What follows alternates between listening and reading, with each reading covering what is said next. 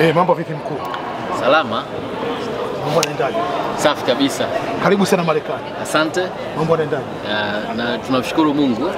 Na kuona umekuja kwenye tukio moja kubwa sana la Watanzania na convention yao inafanyika Marekani. Yes. Wewe ni nani na unajishughulisha na nini? Kwa sababu naona masuala ya networking, masuala ya startup, si masuala gani? Kwa hiyo tujue unafanya nini.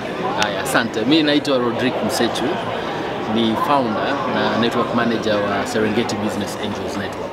Yeah. Na kwa kifupi tunachokifanya sisi ni kuwatafuta Watanzania wenzetu uh, ambao wapo, wapo Tanzania, alafu tunawaleta kwenye network then tunatafuta startups alafu tunazikagua pamoja, alafu tunawekeza pamoja.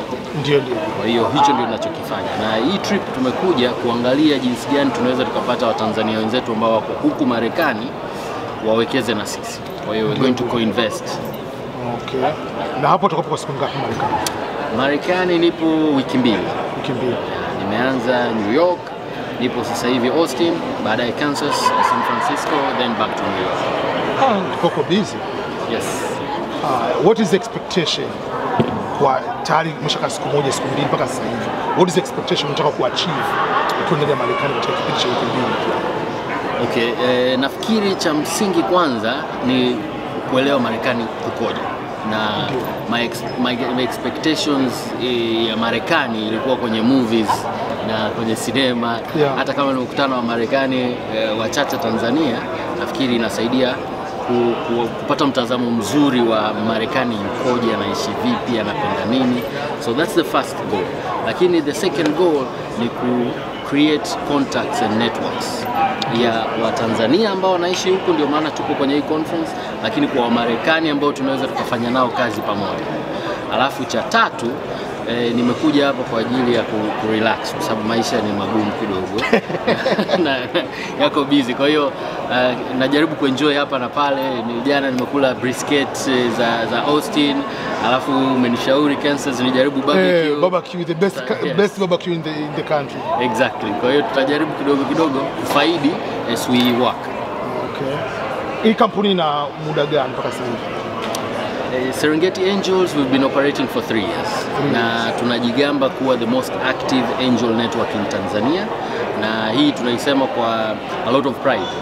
Ukitumia channel yoyote uulize labda ubalozini au wizarani UN, watakwambia Serengeti eh, they are very active in Tanzania. Kwa hiyo miaka mitatu, lakini we've invested in five startups. Eh, Dawa Mkononi ambayo tuli syndicate na Warioba Ventures Tembo Plus, eh, Sumet Technologies, ESID na hao wote isipokuwa wa kwanza Sumet ni wa Tanzania, Tanzanian founders. Na kitu ambacho kinafarijisha ni kuona uh, kitu ambacho sisi tunaita founder market fit, kwamba ni Mtanzania ambaye eh, kwa mfano mmoja one of the co-founders uh, he was in line to become uh, an MD of a bank in Tanzania lakini ameona this is nice but I can fix some problem. Kwa hiyo ametoka ameanzisha startup, unaona, ana experience, anafahamiana na watu kwenye industry na yupo tayari ku, ku take risk. Kwa hiyo we come in, we back him up na fingers crossed, nafikiri in 5 years we'll have a lot of good stories to tell. Hiyo safi sana. Wewe kama founder, kwa nini utumie jina la Serengeti? Ah, yes. Eh, uliwaza sana mpaka kuja na hiyo branding. Yeah, ilikuwa si sitarajii swali kama hilo. Lakini eh, kwa jinsi nilichoambiwa Serengeti kwa Kimasai eh, inamaanisha vast plain. There is, eh, there is, it's a vast plain right? Na ukiangalia vizuri opportunities in Africa Tanzania it's, uh, Zipo. zipo nyingi sana. Yeah. that's one. Lakini vile vile watu ambao wameenda Serengeti wanakuambia it's one place where you drive in and you feel you are the only person in the world. Kwa sababu unaangalia kule kushoto kulia uko peke yako Yeah. right? So that gives you a lot of possibilities. Alafu ni, ni, ni kwetu Serengeti ni kwetu. Kwa hiyo why not use something that Watanzania na Waafrika they can gravitate towards Sasa kwa mtu ambaye yuko Marekani au yuko Ulaya, ni Mtanzania au ameshachota Ulaya nchi nyingine, lakini yuko kule, anataka kuwasiliana na nyie kwenye hii swala lenu, anawasiliana na wewe katika mazingira gani? Okay.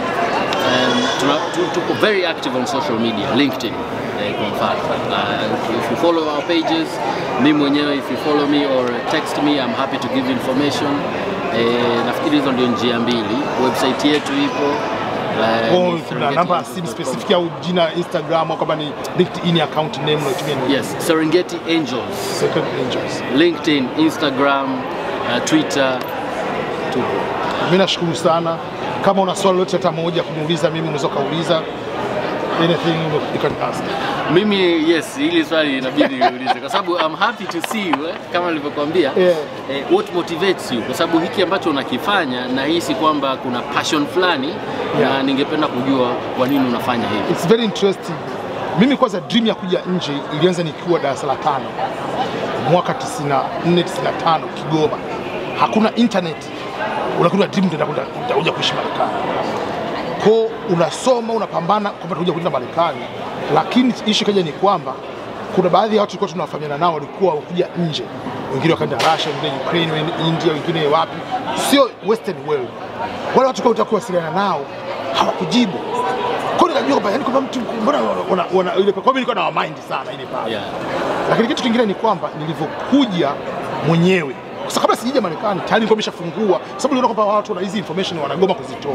Kwa mimi nimefungua blog mwaka 2007 nilikuwa sekandia chuo kikuu. Kwa hiyo hizi mambo splash mode gani imeanza kuyatoka kwa sababu nilikuwa sekandia ni mwanafunzi wa chuo. Internet unaenda kwenye internet cafe. Sasa then mwaka 2008 nikaja Marekani. Kwa hiyo mimi ndio yule mtu ambaye nilikuwa nalaumu wale watu ambao kuja huku nje kwa kutotoa information kama za roho mbaya. Eh. Sasa mimi ndio niko huku tena. Kwa hiyo ile pale iliendeleza ni ile moyo ambao nilikuwa nao wakisha wengine wanafanikiwa, na hiyo ni kwamba imetokea tangu nyumbani kwamba uh, tulikuwa tunafundisha tuition. Kaka zangu mtu ana- hela tuition anakuja kusoma bure nyumbani, kwa hiyo mimi nimefundisha sana tuition for free. Achana kwanza kwa hela for free, nimefundisha sana. Kwa hiyo pale kutu give back kwamba umefika sehemu fulani, basi na mwenzako afike sehemu fulani, ile imesaidia sana kama ni motivation. Kwa hata sasa hivi kwamba naweza kusema kuna baadhi ya services zinazichaji, lakini in the long run kuja kuangalia bado still highly ni service oriented kuliko ni more kama ni business. Okay, so very good. Ni, ni, nzuri sana na, na mimi nashukuru sana dada Tina kwa sababu tulikuwa tunazungumza naye Yeah. and the link alinitumia ya, ya, ya website ya nani yako. Kwa hiyo nili- nilisoma pale, nilisikiliza, alafu it helps eh, kujiandaa kwa ajili ya visa na it only took me two minutes. Kwa hiyo Okay. eh, na nilifanikiwa. Kwa hiyo asante sana for the good content. Karibu sana, tunajitahidi kurekebisha. Karibu sana, enjoy Marekani, mkuu wa kazi. Asante Chief. Kwa poa.